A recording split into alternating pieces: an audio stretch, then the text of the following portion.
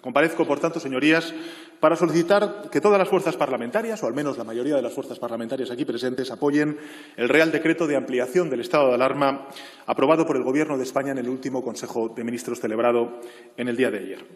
Es la tercera vez que pido como presidente del Gobierno esta prórroga, pero es la primera vez que puedo hacerlo con un escenario de futuro prudentemente, y subrayo esta palabra, prudentemente optimista.